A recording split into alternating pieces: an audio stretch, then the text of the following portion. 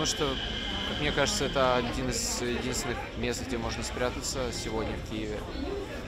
А во всех остальных местах э, страшно.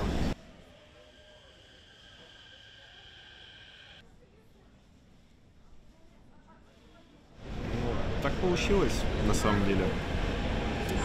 Мы не готовились к тому, чтобы бежать отсюда.